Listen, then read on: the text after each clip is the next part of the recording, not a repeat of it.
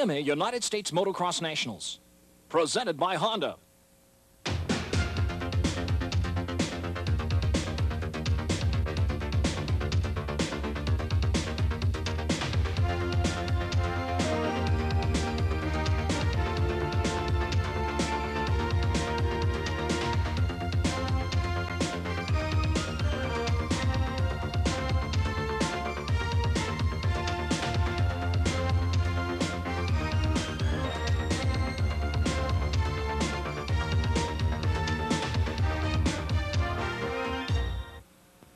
May look like New England. It's not. It's the Pacific Northwest and the AMA National Motocross Championships at Washougal, Washington. Just a stone's throw from the beautiful Columbia River.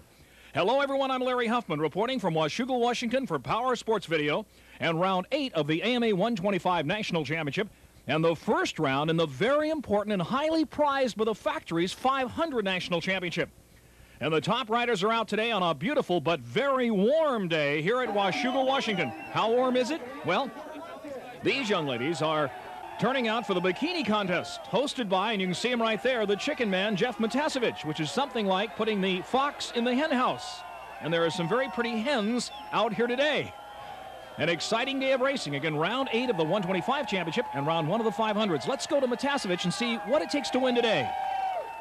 Uh, pretty good. The track's in uh, really good condition. It's really fast. Uh, a lot of the top 125 riders are going about the same speed in uh, practice, it seems like. And uh, I think the key is it's going to be uh, who's got the faster bike. I think the faster bike's really going to help. There's some really big uphills where horsepower counts a lot. So I think horsepower is going to play a big key out there today. I feel pretty good. The track's uh, really well maintained. My bike's running really good. And in practice, I had you know a lot of good lap times, and I feel real comfortable today. What about the track itself? Um, the track's really nice. There's a lot of different kind of terrain. There's doubles. There's a whoop section. There's uphills. There's downhills. There's you know big high flying jumps, and you know the speed's real fast. So it's kind of a all around you know different kind of terrain track, and I think it suits me really good. My practice tracks are like this, and I think I'm going to have a good day today. The stage is set for moto number one in the 125 class. And remember, Bayle, the Frenchman, comes into this race with a 14-point lead. But a moto win pays 20 points. And the sign goes sideways, and we're ready to go. Let's see what happens. 125 National Championship, round eight. It's getting down to the nitty-gritty. And they are underway. Out in front, it is a Suzuki. Looks like Denny Stevenson. Suzuki rider out in front. And Bayle, the Frenchman, goes into second. Now Stevens, uh-oh, we've got a pile up, a single alert on, on the I-5 freeway, which connects Portland and Vancouver. We're just across the border in Washougal, Washington, on a beautiful day, but it is Stevenson in front and Bayle running second. Let's see now, running third looks to be Kawasaki Team Green rider Tallon Vohland, then Larry Ward, Mike Kiedrowski, and Oregonian Jeff Daly running in the top five. Denny Stevenson, 27, trying to hold on to the lead now, but he's got an injured wrist. And Bayle is chasing him. Bayle coming into this race with a big, big lead, a 14-point lead. Coming into this race, and Cooper is chasing him. Let's see what happens.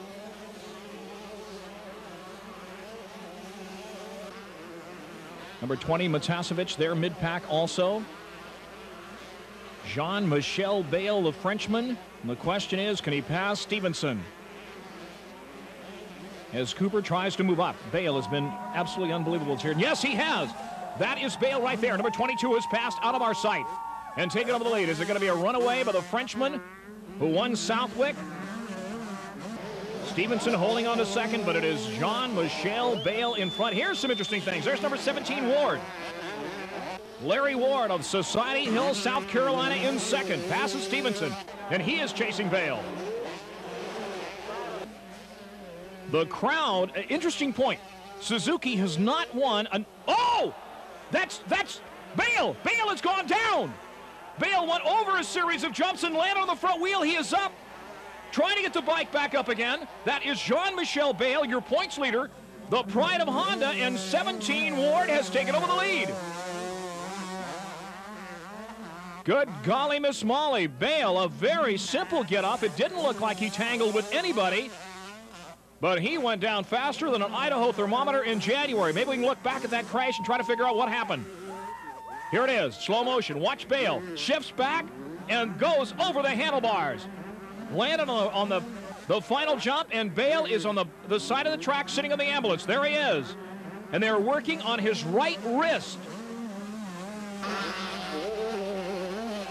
A tough break for Honda. And Dave Arnold, behind the Honda factory manager, is absolutely going insane in the pits. And right now it is this young gentleman, Larry Ward, number 17, out in front of the Suzuki. I started to say a moment ago, Suzuki has not won, now listen to this, has not won a national 125 championship since 1982 when Mark the Bomber Barnett won it. And let me tell you that Mark Blackwell and Bob Starr and the Suzuki staff are keeping their fingers crossed now to see if at least Stevenson can win, but they're, they're putting their hopes on Cooper, who is now starting to move up.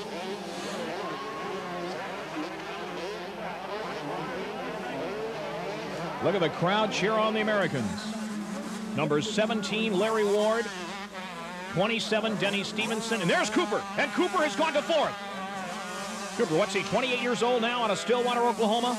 Got the prettiest wife in motocross. She does his pit board, handles his pit board, helps with the mechanics. An absolute beautiful young lady. And look at Cooper start to move up. 28 or 29, I'll check that out. But I believe Cooper is pushing 30.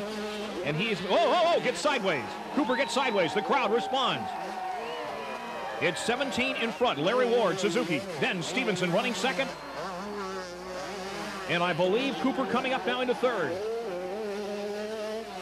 Suddenly, Suzuki has put up millions of dollars in contingency money, and it is starting to pay off.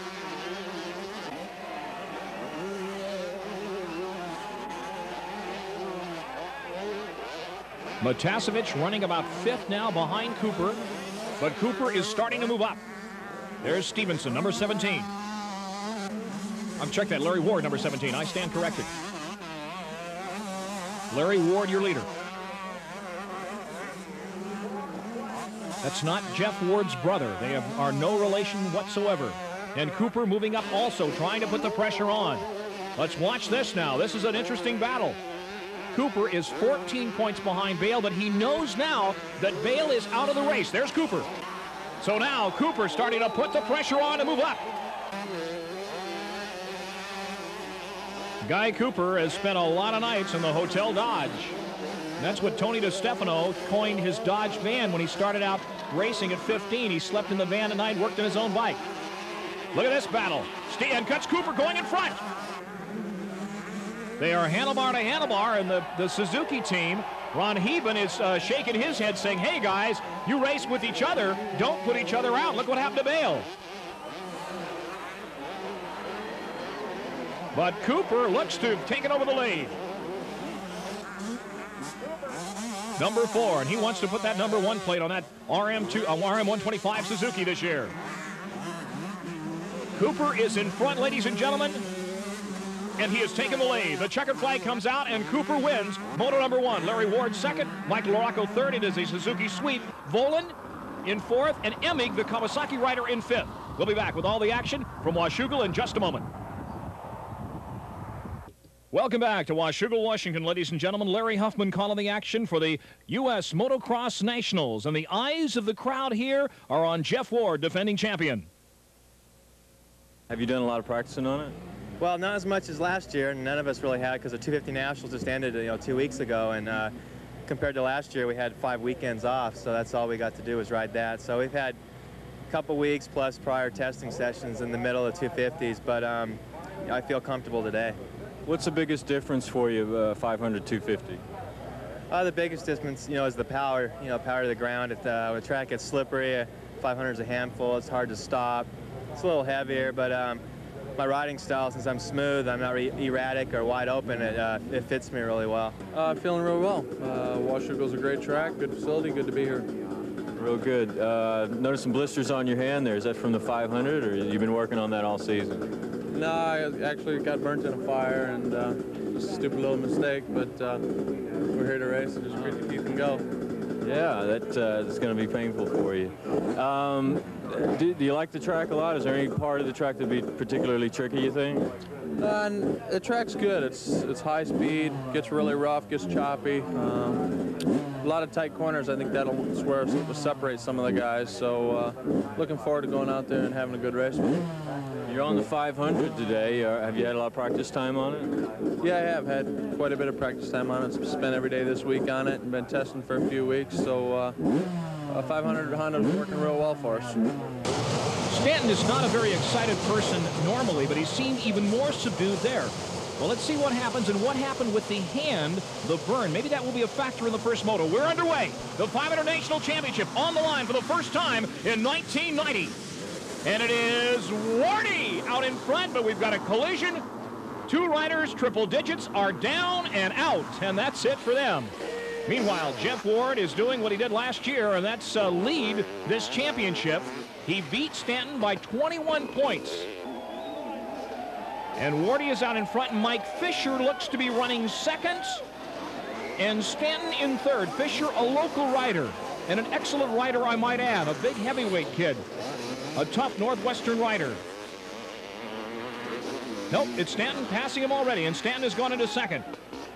So Fisher drops to third, Stanton second. Another rider a lot of people are watching today, Rick Johnson. Earlier this year, I had lunch with Roger DeCoster, the team manager for Honda, or the man in charge of the entire Honda racing operation, and he confided in me. A lot of people are wondering if Rick Johnson is through or if he will come back. He said, I don't know. We'll have to see and this year will tell the tale, and it has not been a great year for Ricky Johnson. Johnson reported to be in mid-pack. It is Wardy in front and Stanton in second spot. Jeff Ward, the only rider in AMA history to win championships in all four classes, 125, 250, 500, and Supercross. And Stanton would like to duplicate that feat. But it is Jeff Ward in front and in control at this point.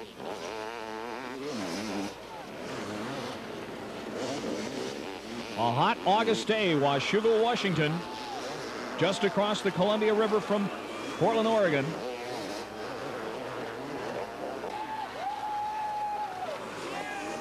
Although the track has been prepared beautifully, a minimum of dust so far. There is Jeff Ward. That's a lap rider in front of him. Stanton is running second. Johnson mid-pack starting to move up. We understand Johnson and O'Mara, a couple of seasoned veterans, are tangling back in mid-pack. We'll try to get a look at them. There's Johnson, number 13, and O'Mara, number 9, running about 5th and 6th, respectively, at this point.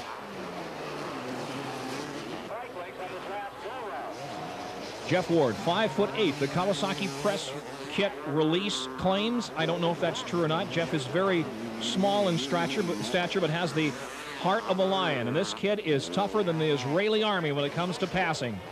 You cannot pass him unless you throw everything but the kitchen sink at him. There's Stanton in second. Now remember, Stanton lost the championship to Ward last year by 21 points. That's all.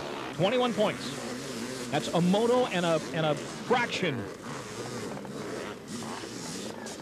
And he'd like to win it again. He'd like to win it this year, Stanton, and take it away from Wardy, and Wardy would like to hold on to it.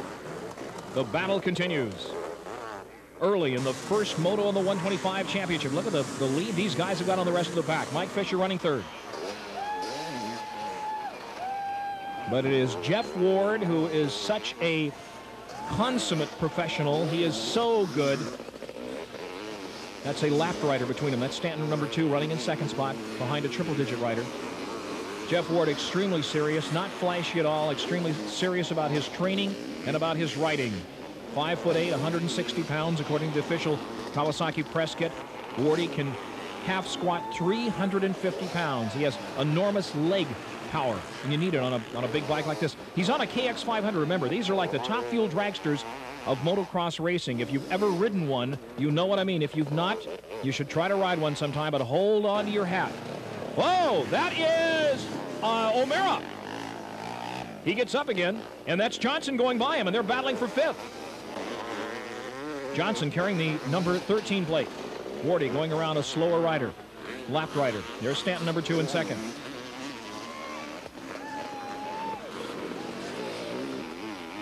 Stanton said we came here to race today. You heard the interview earlier. But right now he's running in second spot and not putting any pressure on, at all on Jeff Ward. Beautiful day here in Washougal. Had the pleasure of announcing this race a couple years. They first did it back here in the in the southern Washington area, just just across the river, literally on the Oregon border. And I announced the first and second races, I believe, here. Larry Ward, my uh, Larry uh, Myers, my colleague, is on the microphone today here. And I'm here with you in the Power Sports video coverage of this AMA 125 and 250 National Championship.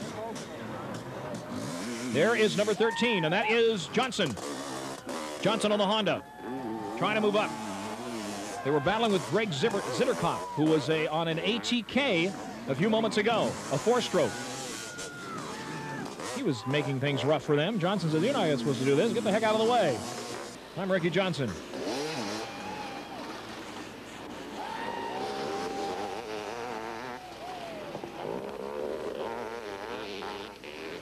Jeff Ward, who has been racing since he was four years old.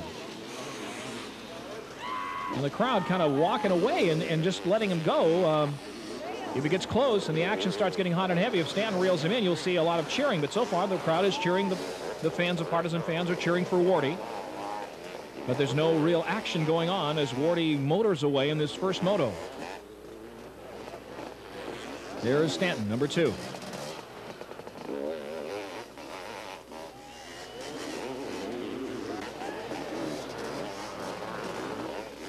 And there is Johnson and uh, O'Mara battling back in fourth and fifth spot, respectively.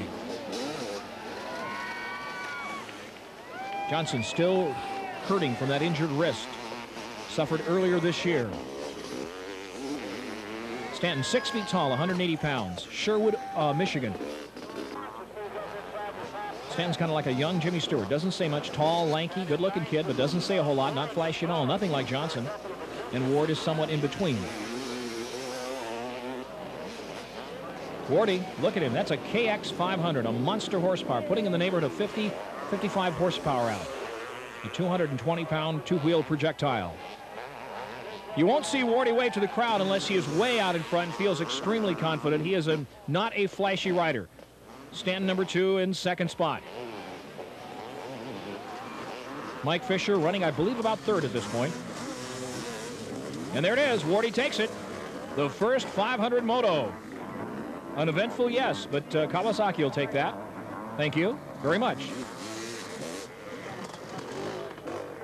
Stanton second, Fisher on the Kawasaki fourth. O'Mara manages to get by Johnson for fourth, and Ricky Johnson finishes in fifth.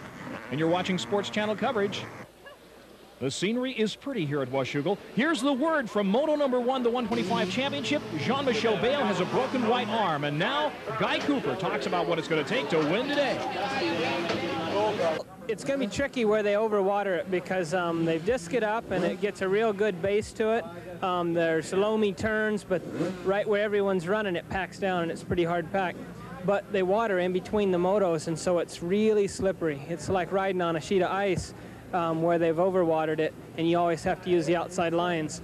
Uh, I like it whenever it gets right to the point where it's almost dusty, but there's no ice spots, you know, no ice patches on it. You can really pin it hard. So um, the first couple laps are going to have to be really um, conservative for me, and then after that, I'll have to um, pin it and start going.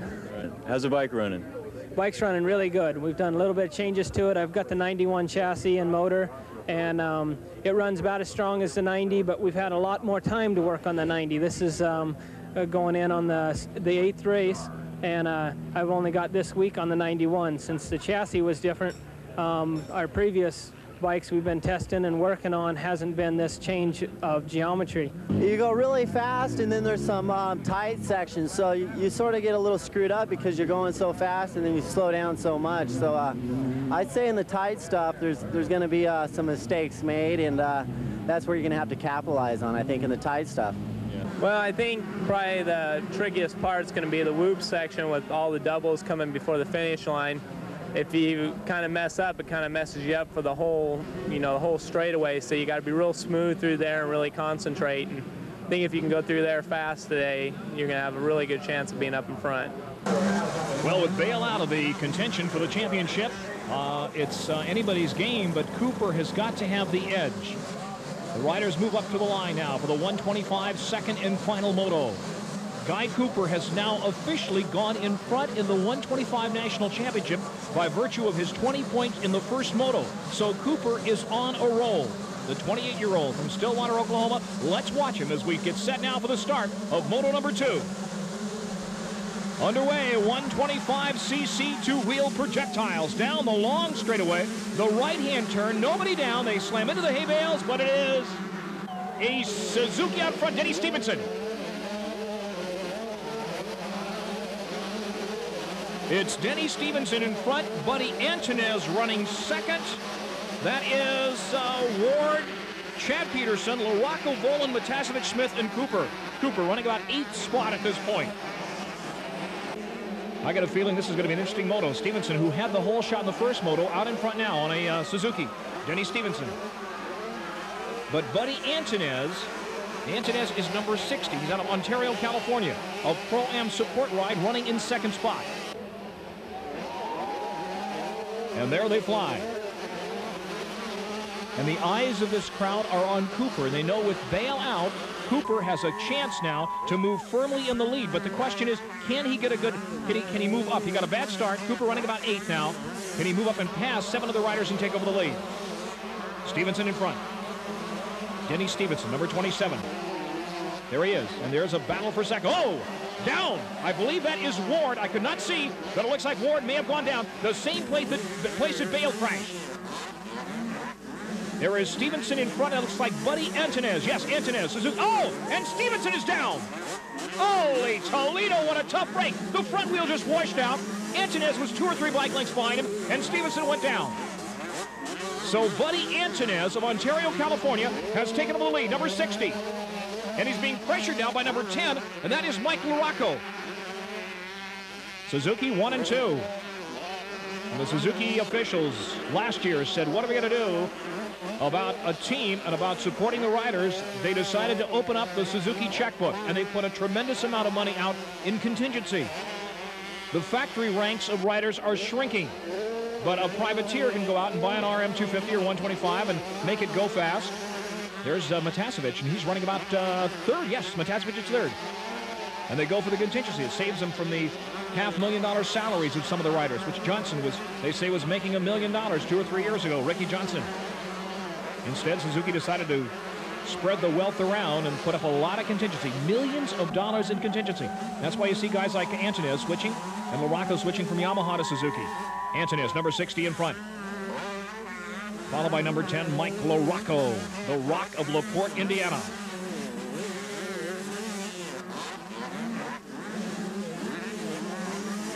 That's a lapped rider between uh, second and third. It is, a moment ago, as I went by, Matiasevich running in third spot. We'll check it and see. Washougal, Washington, ladies and gentlemen. AMA National Motocross Championship, 125 class. Here is Ant here's LaRocco. Mike LaRocco went by on the inside around Antunez, where Antunez did not expect it.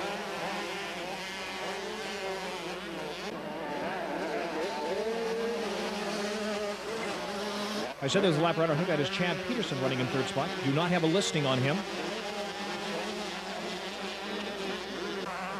But it is number 10 at this point, Michael LaRocco III.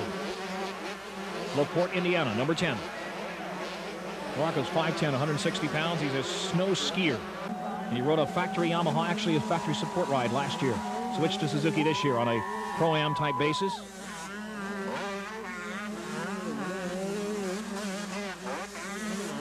LaRocco was 19 years old. Antunez second, Ito one third, and that is uh, number 20, Matiasevich in fourth spot.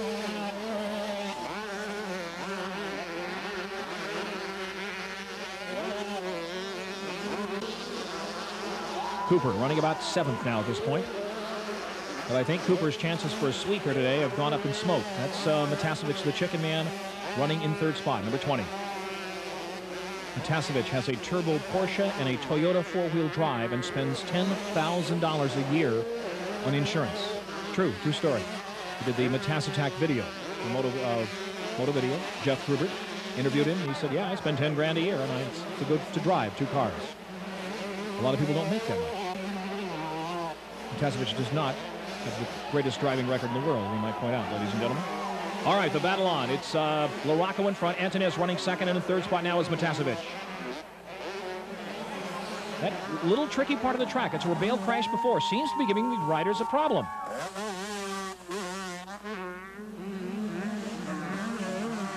There's Cooper. Cooper moving up. Cooper got a bad start, but Kiedrowski crashed in the first turn of the first lap. Mike Kiedrowski, defending champion. And Cooper now starting to make a move, starting to move into the top five. But I think it is too little too late, but Cooper never count this kid out. He does not know when to quit.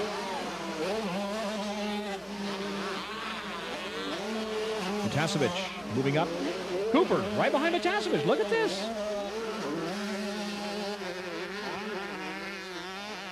Number eight, Damon Bradshaw, also into the top five.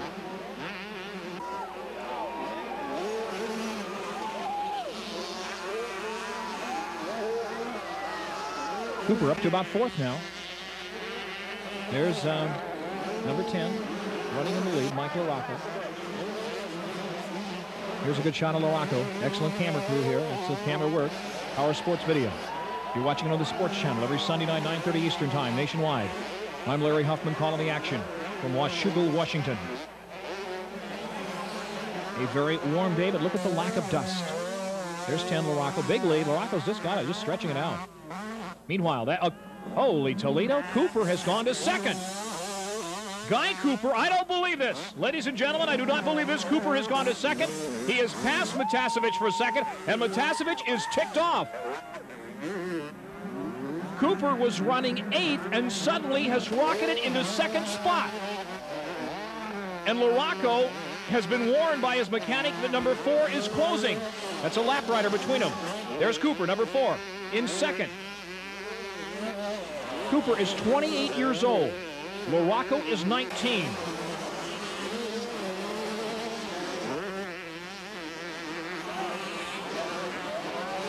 Well, Guy Cooper got a bad start. He's not a tremendous starter. And he's worked his way up to second spot in his second and final 125 moto. Now the momentum, the, the pump he got from the first moto from winning has got to be figuring into the second moto because he's riding a hell of a race. Listen to the crowd. Cheer him on. Listen to him. Cheer on Cooper.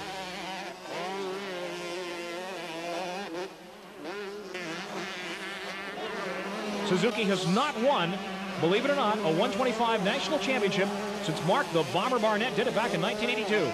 And Cooper wants to give that number one plate back to Suzuki and pick up about $100,000 in cash for doing it. There's number 10, LaRocco. Mike LaRocco, 5 foot 10, 160 pounds. He was runner-up in 89 in the West Coast 125 championship. Won three 125 races in 1988. His 250 AMA National Championship in 1987. Champion in 1987. But it is uh, Cooper now. The crowd is watching. Number four, Guy Cooper of Stillwater, Oklahoma. Second place. It'll give him a first overall. If he wins, if he stays in this position. Can he reel him in? There's Cooper. There's a lap rider between him. That's the lap rider in the white jersey. I think it's 471. Guy Cooper running in second. Mike LaRocco in third. The Rock of LaPorte, Indiana.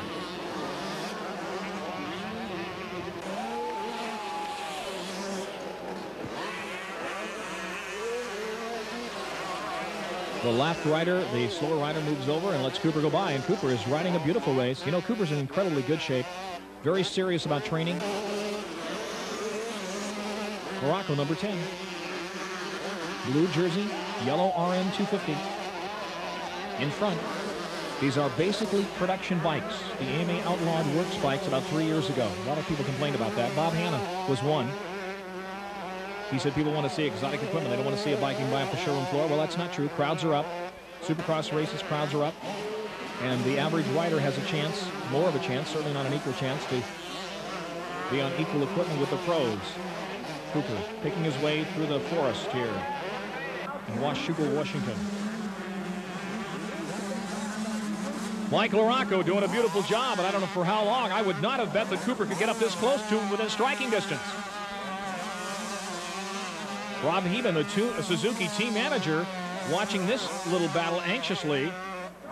Let's see if we can get a shot of the two of them, how close they are. Well, there's Kiedrowski, number one, and he crashed. He hit the back of Cooper's bike in the first lap and went down.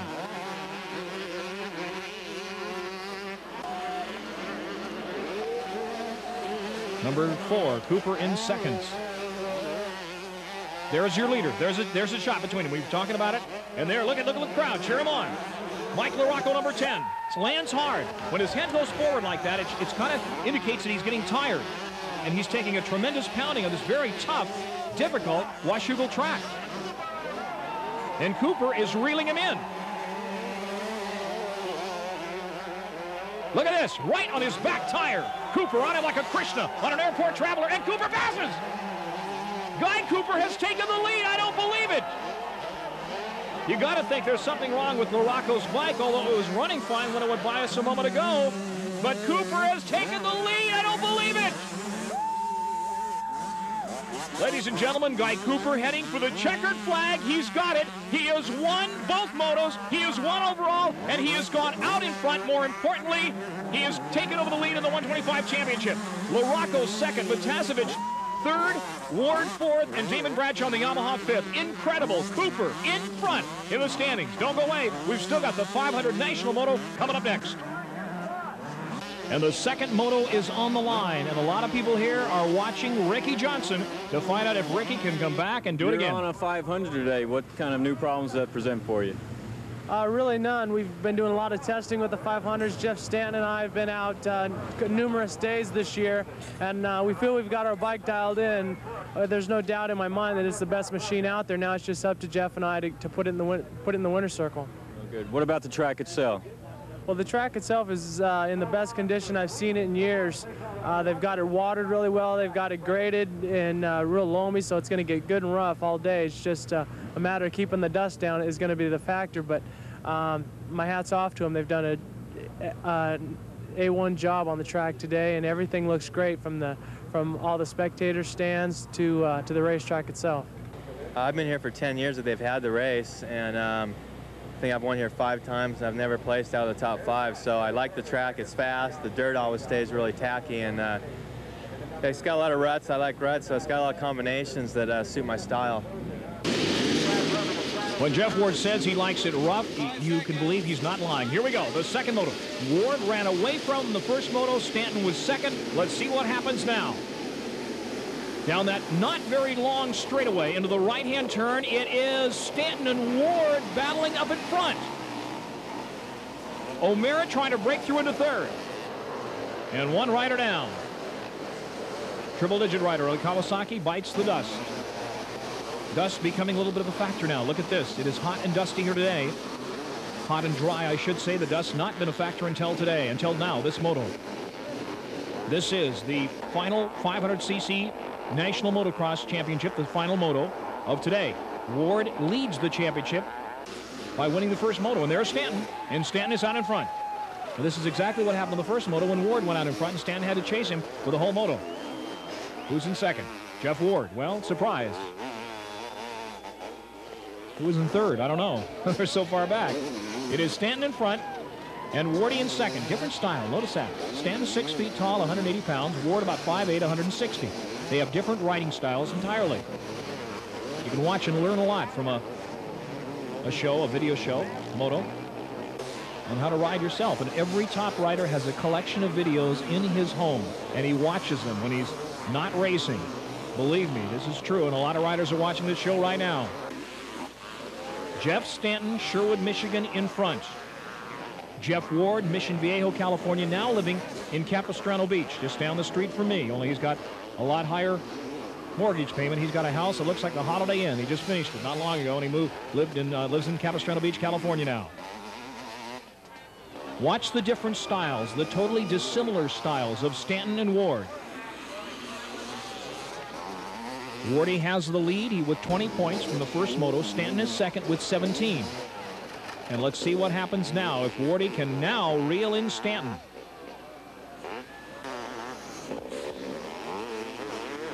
Johnny O'Mara is running third. And Ricky Johnson is somewhere in mid-pack. We have the report from Nate Roba of Cycle News that uh, Ricky got a terrible start, and he's not been working, has not been practicing starts lately, and he is about mid-pack. Ricky Johnson, not probably not going to be a factor here today, but Jeff Stanton is. Make no, no mistake about that.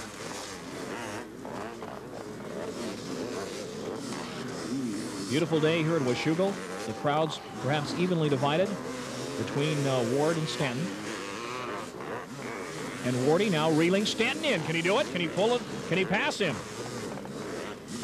He goes to the inside. Stanton stays to the outside. Stanton is not an easy man to pass. Here's Ward. No, Stanton shuts him off. And Wardy knows that, that if he hits that rear wheel of, of Stanton, he will be down instantly.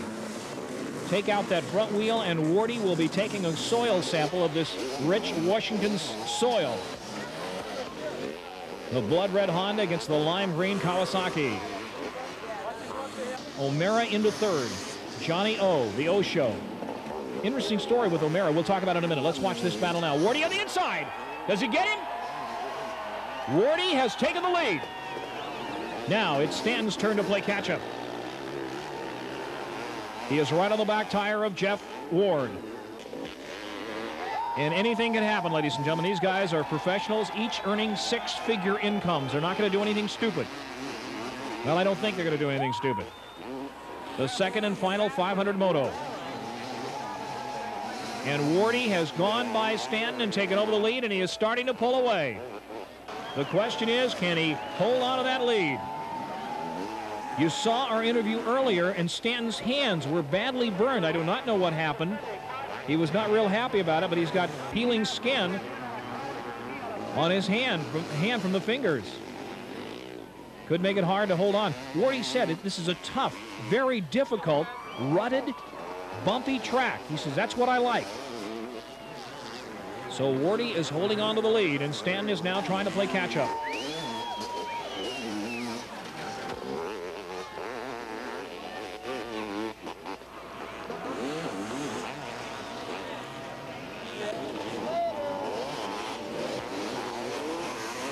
Ward starting to pull away now. Will it be a Kawasaki sweep for Ward? Cooper won both the 125 motos, remember. Taking over the lead, and Bayle is out with a broken arm. The 125 championship. That will probably do it for the Frenchman. Tough break, too. He's been a, a fierce competitor all year long.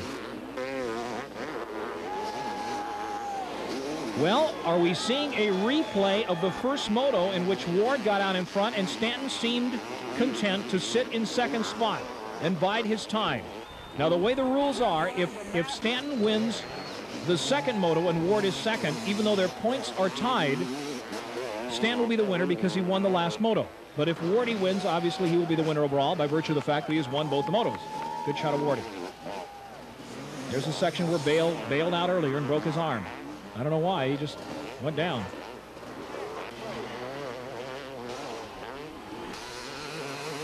Jeff seems to be putting a little distance and time between himself and Stanton.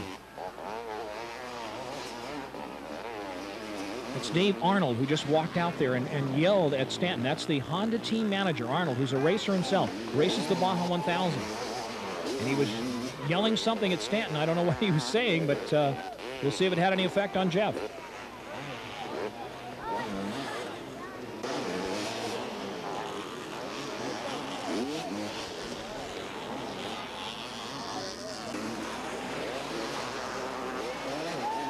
Well, it looks like it did because Stanton is coming right up behind Jeff Ward now and now putting the pressure on. That might have been what Arnold was telling him. Keep the pressure on. They go through the ruts, and there are lap riders ahead of them. And here's Stanton trying to pass. Right on the back tire of Wardy. Stanton, like they lit a fire underneath his butt. And he is putting the pressure on Wardy, and he's going to pass. Let's see, let's see. Yes, Stanton has taken the lead. Let's listen to the crowd. They're cheering him on. Stanton suddenly came alive. And now Wardy has got to play catch up. But Jeff Stanton is on the gas and starting to pull. Well, I can't say he's pulling away yet, but he is certainly looking strong. Look at the crowd cheer him on. And look at Stanton pull away. Yes, now he is pulling away from Ward. There's an old joke going around one time when, when Lechien was, was riding for, I believe, Yamaha at the time. There's O'Mara, and O'Mara's running third. And Lechien is notorious for running hot and cold. When he is on and wants to win, there is no one who can touch him. But when he doesn't want to win, I could beat him. And there was a, a word one time that Kenny Clark, when Lechien was on a Yamaha, walked when Lechien was not doing well, walked out and waved a contract at Lechien while he was on the line. I don't know if it's true or not, but it, that's what the story was. And Lechien got the word and started started going faster. I don't know what Dave Arnold said, but suddenly uh, Jeff Stanton, this young gentleman, number two, is definitely increasing his velocity.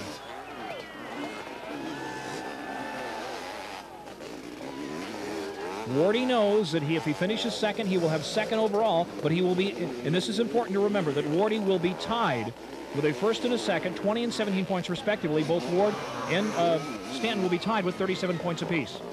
But let's talk about prestige and winning this race overall. And you can bet the factories got their ads ready to go on whoever wins this race. There'll be full-page ads in Cycle News and everywhere else they can think to put them to tell that Ward or Stanton won it. And right now, Stanton is in control.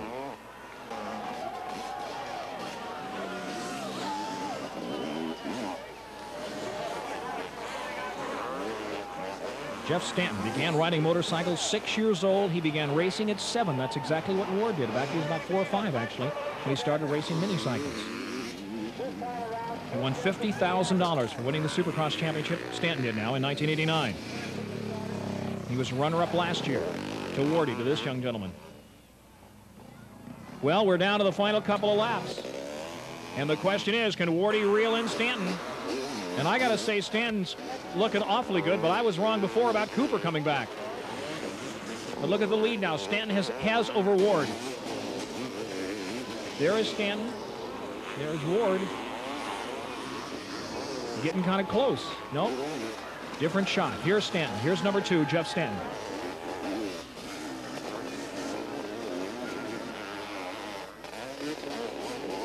There's Wardy, another Kawasaki rider. I was mistaken. That was a Kawasaki rider running second, but he was lapped.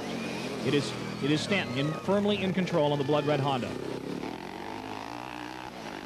These 500cc bikes put out well over 50 horsepower. They weigh about 200 pounds. It's like the power to weight ratio of a top fuel dragster. You a ride one, let me tell you, they are, they will put the fear of God back in you. And these guys are not fearless at all. Wardy going after Stanton, but I don't think there's enough time. I could be wrong. Stanton looking good, not making mistakes, not wobbling at all, coming down, completing control on the jumps. No mistakes at all. Here's Wardy. Leaping a little farther, but I think it's too little too late. It looks like Stanton's going to go for the gold on this one, and that'll get him, him an overall win. Jeff Stanton, if he continues on for a few more moments.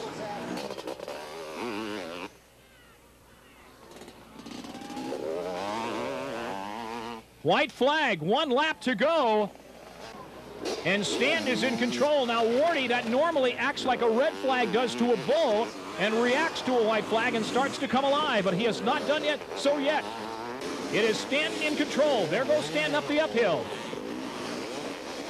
And Ward is nowhere in sight. He is in second, but out of our sight.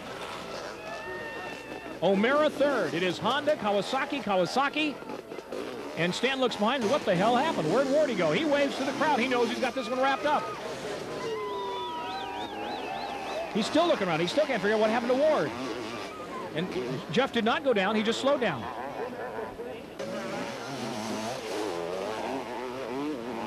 Stan's not slowing down at all. He's still on the gas, heading for the checkered flag. And taking the accolades of the crowd and a well-deserved round of applause it is. He waves to the crowd. Look at him. You know a rider's confident there. He's waving and cheering, and the crowd loves him. Almost 12,000 people here at Washougal. There's Wardy in second.